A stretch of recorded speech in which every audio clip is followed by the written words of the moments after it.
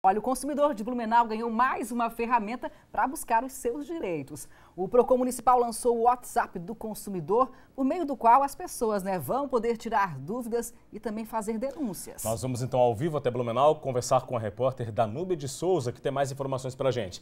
Danúbia, muito bom dia para você. Como é que vai funcionar esse serviço? Conta para a gente. Olá, muito bom dia, Rodrigo, Rafa. Pois é, a tecnologia facilitando a vida das pessoas. Vai funcionar da seguinte forma: a partir de agora, os moradores de Blumenau que quiserem tirar dúvidas, esclarecimentos e até fazer denúncias com o Procon vão poder mandar uma mensagem pelo aplicativo WhatsApp.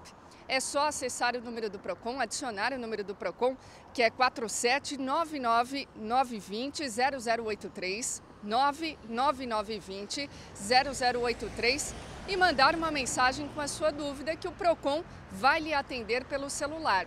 Ele atende normal, responde às pessoas normalmente das 9 horas da manhã até as 4 horas da tarde, que é o horário normal de expediente do Procon.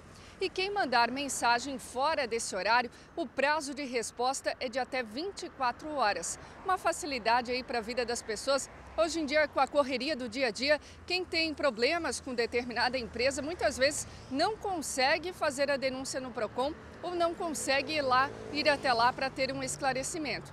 Mas quem não tiver o aplicativo WhatsApp, que é difícil hoje em dia, vai poder continuar indo normalmente até a sede do Procon, que fica na frente da Prefeitura de Blumenau e atende as pessoas de segunda a sexta-feira, ou na Intendência da Vila Itopava, que atende a comunidade nas segundas-feiras, ou na Intendência do Garcia, que atende a comunidade nas quintas e sextas-feiras.